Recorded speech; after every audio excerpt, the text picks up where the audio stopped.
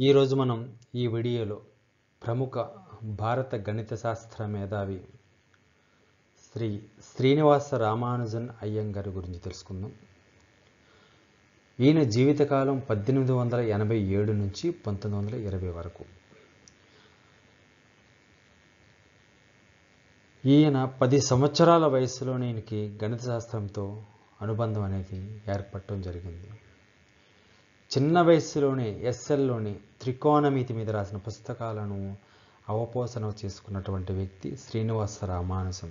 అంతేకాకుండా పదమూడు సంవత్సరాలు నిండే సరికల్లా ఆ పుస్తకాన్ని అవపోసన పట్టడమే కాకుండా తన సొంతంగా సిద్ధాంతాలు కూడా రూపొందించి తన యొక్క పేరు ప్రఖ్యాతులను ప్రపంచం నలుమూలల గుప్పించినటువంటి వ్యక్తి శ్రీనివాస రామానుజన్ ఈయన తమిళనాడు రాష్ట్రంలో పద్దెనిమిది వందల ఎనభై ఏడవ సంవత్సరంలో తమిళనాడులోని ఈరోడ్ పట్టణంలో జన్మించటం జరిగింది.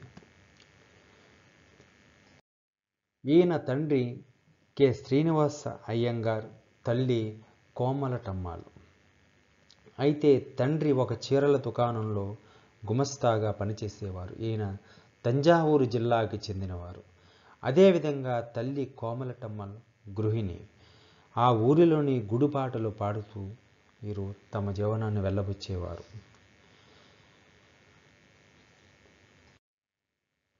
ముఖ్యంగా శ్రీనివాస రామానుజన్ గారి యొక్క విద్యాభ్యాసం ప్రధానంగా మూడు ప్రాంతాలలో జరిగిందని మనం చెప్పుకోవచ్చు. ఒకటి ఆయన స్వస్థలమైనటువంటి తంజావూరు తరువాత కాంచీపురం తరువాత కుంభకోణం. డిసెంబర్ పద్దెనిమిది వందల ఎనభై తొమ్మిదిలో రామానుజన్కు మజూచి వ్యాధి సోకడం జరిగింది. కానీ తంజావూరు జిల్లాలోని ఈ వ్యాధి సోకి మరణించిన చాలామందిలా కాకుండా బ్రతికి బయటపడగలిగాడు. తరువాత రామానుజన్ తల్లితో పాటు చెన్నైకి దగ్గరలో ఉన్న కాంచీపురంలో ఉన్న అమ్మమ్మ వాళ్ళ ఇంటికి చేరాడు. ఆ విధంగా ఆయన విద్యాభ్యాసం తంజావూరు నుంచి కాంచీపూర్కి మారడం జరిగింది. తర్వాత పద్దెనిమిది వందల తొంభై ఒకటిలో మళ్ళీ పద్దెనిమిది వందల తొంభై నాలుగులో రామానుజన్ తల్లి ఇరువురు శిశువులకు జన్మనిచ్చిన ఏడాది తిరగక మునిపే ఇదివరకులాగే వా ఆ పిల్లలు కూడా మరల మన మరణించడం జరుగుతుంది. పద్దెనిమిది వందల తొంభై రెండు అక్టోబర్ ఒకటిలో రామానుజన్ అదే ఊళ్ళో ఉన్న చిన్న పాఠశాలలో విద్యాభ్యాసాన్ని ప్రారంభించాడు మార్చి పద్దెనిమిది వందల తొంభై నాలుగులో ఇతడిని ఒక తెలుగు మాధ్యమ పాఠశాలకు మార్చడం జరిగింది. రామానుజన్ తాత కాంచీపురం న్యాయస్థానంలోని ఉద్యోగం కోల్పోవడంతో రామానుజన్ తల్లితో సహా కుంభకోణం చేరుకుని అక్కడ కంగయ్యను ప్రాథమిక పాఠశాలలో ఇచ్చాడు. ఈ విధంగా తన విద్యాభ్యాసం మరో ప్రస్థానం కాంచీపురం నుంచి కుంభకోణంకు మారటం జరుగుతుంది. తర్వాత నాన్న తరపు తాత చనిపోవడంతో రామానుజన్ మళ్ళీ మద్రాసులో నివాసం ఉంటున్న తల్లి తరపు తాత దగ్గరికి పంపించారు. కానీ అతనికి మద్రాసులో పాఠశాల నచ్చలేదు. తరచూ బడికి ఎగరామం పెట్టేవాడు. అతని తాత అమ్మమ్మలు రామానుజన్ బడిలో ఉండేటట్లుగా చూసేందుకు వీలో ఒక మనిషిని కూడా నియమించడం జరిగింది. కానీ ఆరు నెలలు తిరగకుండా మునిపే ఆయనను మళ్ళా తిరిగి కుంభకోణం పంపించేయడం జరిగింది. రామానుజన్ తండ్రి రోజంతా పనిలో లీనమవడం మూలంగా చిన్నప్పుడు అతని బాధ్యతలు తల్లే చూసుకునేది. కాబట్టి తల్లితో చాలా గాఢమైన అనురాగం కలిగి ఉండేవాడు రామానుజన్. ఆమె నుంచి రామానుజన్ సంప్రదాయాల గురించి పురాణాల గురించి ఇంకా మరెన్నో ఆసక్తికరమైన విషయాలను ఆయన తెలుసుకోవడం జరిగింది.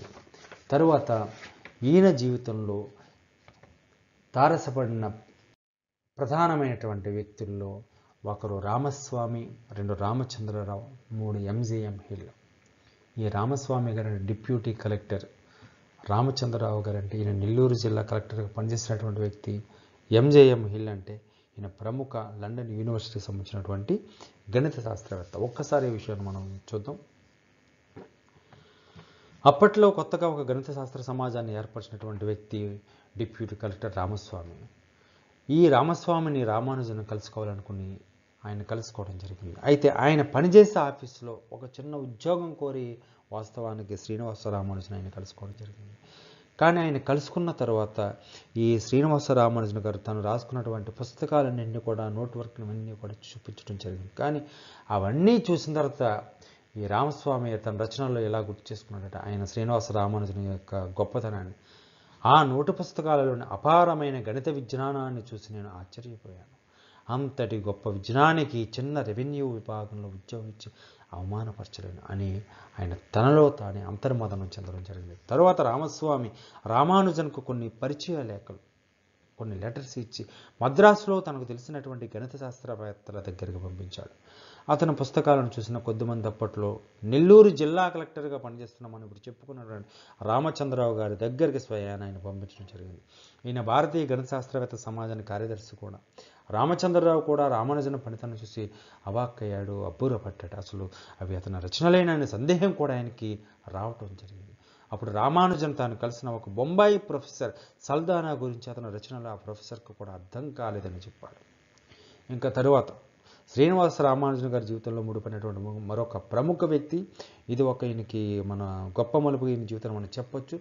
ఎంజేఎంఎల్ Narayana Iyer Ramachandrarao EW middle master మొదలైన వారు రామానుజన్ పరిశోధనలను ఆంగ్ల గణిత శాస్త్రవేత్తలకు చూపించడానికి ప్రయత్నించారు. లండన్ యూనివర్సిటీ కాలేజీకి చెందిన ఎంజేఎంఎల్ మనం ఇక్కడ ప్రస్తావిస్తున్నటువంటి వ్యక్తి ఎంజే హమిల్ అనే గణిత శాస్త్రజ్ఞుడు ఈయన రామానుజన్ పరిశోధనలో కొన్ని లోపాలు ఉన్నాయని వ్యాఖ్యానించారు. అయితే హిల్లు రామానుజన్ను విద్యార్థిగా స్వీకరించేందుకు అంగీకరించలేదు కానీ రామానుజన్ పరిశోధనలపై మంచి సలహాలు మాత్రం ఇచ్చారు.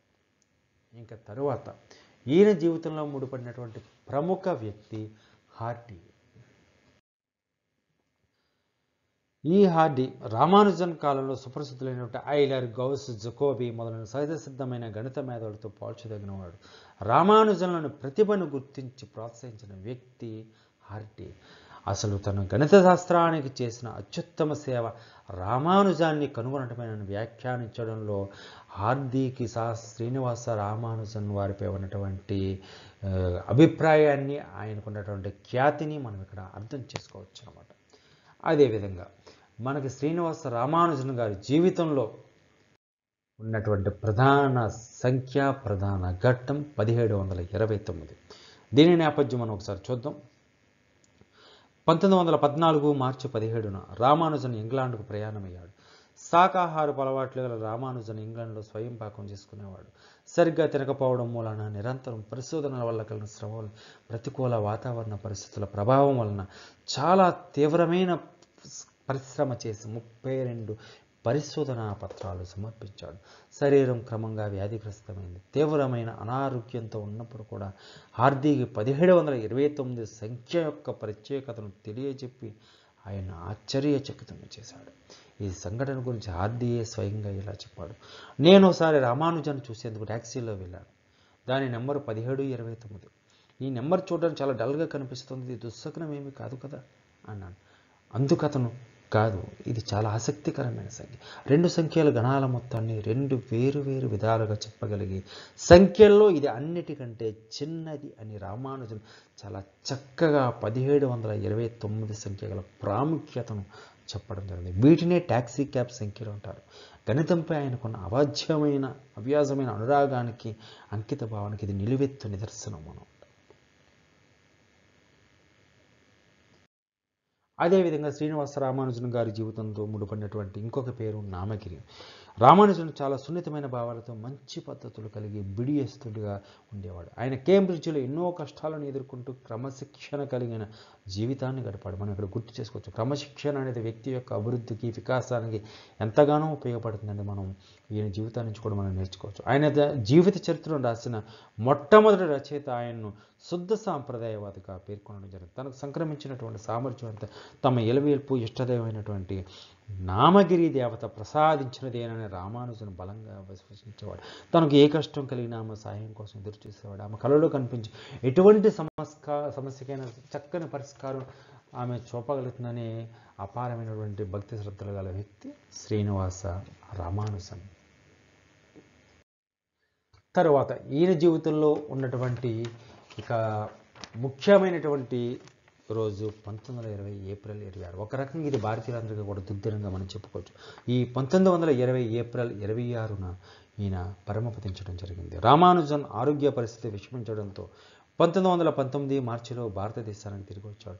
బొద్దుగా కొంచెం నల్లగా కనిపించే రామానుజన్ ఇంగ్లాండ్ నుంచి పాలిపోయి అస్థి పంజరం వలె తిరిగి రావడం చూసిన ఆయన అవమానం చలించిపోయారు అనేక రకాల వైద్య వసతులు కల్పించిన ఆయన కోలుకోలేకపోయాడు. దాంతో ఆయన పంతొమ్మిది వందల ఇరవై ఏప్రిల్ ఇరవై ఆరున పరమపదించారు శుద్ధ గణితంలో నంబర్ థియరీలోని తన పరిశోధన స్ట్రింగ్ థియరీ క్యాన్సర్ పరిశోధనల వంటి ఆధునిక విషయాలు ఉపయోగపడుతూ వస్తున్నాయి.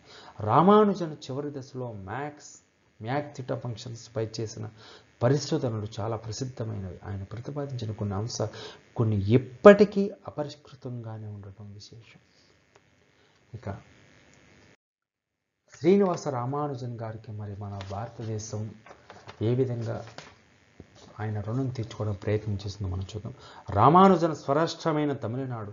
ఆ రాష్ట్రవాసిగా ఆయన సాధించిన విజయాలకు గుర్తుగా ఆయన జన్మదినమైన డిసెంబర్ ఇరవై రెండు రాష్ట్ర సాంకేతిక దినోత్సవంగా ప్రకటించింది అలాగే భారత ప్రభుత్వం పంతొమ్మిది వందల అరవై రెండవ సంవత్సరంలో ఆయన డెబ్బై ఐదవ జన్మదినం నాడు సంఖ్యాశాస్త్రంలో ఆయన చేసిన విశేష కృషిని కొనియాడుతూ స్మారక తపాలా బిల్లును విడుదల చేసింది. అలాగే రెండు వేల పన్నెండవ సంవత్సరంలో అప్పటి ప్రధానమంత్రి ప్రముఖ ఆర్థికవేత్త మన్మోహన్ సింగ్ రామానుజన్ పుట్టినరోజును జాతీయ గణిత దినోత్సవంగా ప్రకటించారు. అలాగే నూట ఇరవై ఐదవ జయంతి సందర్భంగా రెండు వేల పన్నెండును భారత ప్రభుత్వం జాతీయ గణిత శాస్త్ర సంవత్సరంగా ప్రకటించింది.